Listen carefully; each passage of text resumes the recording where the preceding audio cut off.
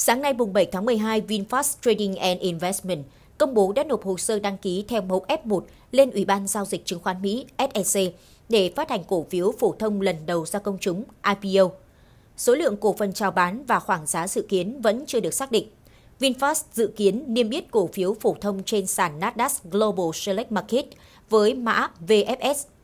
Citigroup Global Markets INC, Morgan Stanley Co. LLC, Credit Suisse Security LLC và JP Morgan Security LLC sẽ đóng vai trò ngân hàng dự sổ chính, kiêm đại diện của các nhà bảo lãnh phát hành cho đợt chào bán được đề xuất.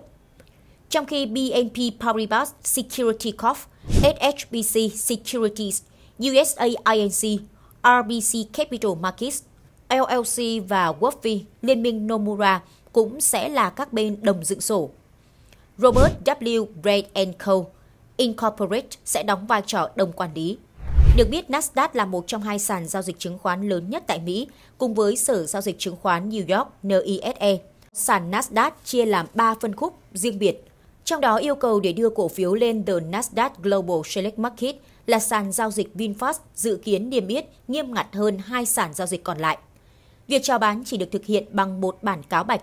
Bản sao của bản cáo bạch dự thảo có thể thu thập từ SEC và Citigroup.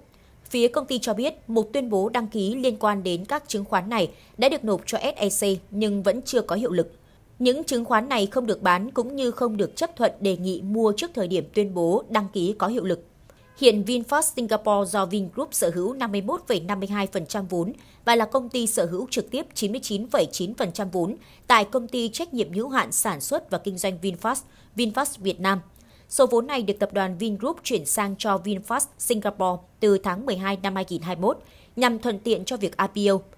Khi đó, Vingroup cho biết việc IPO tại Mỹ là nền tảng quan trọng trong chiến lược trở thành thương hiệu toàn cầu của công ty. Đáng chú ý, thông tin nộp hồ sơ IPO đến sau sự kiện VinFast lần đầu xuất khẩu lô 999 xe điện đầu tiên ra thế giới, mà đích đến là thị trường Mỹ. Đây là lô xe 999 chiếc VF8, nằm trong số 65.000 đơn đặt hàng xe điện VinFast VF8 và VF9 trên toàn cầu. VinFast cho biết sẽ tiếp tục xuất khẩu các lô xe VF8 tới thị trường Canada và châu Âu để kịp bàn giao cho khách hàng vào năm 2023.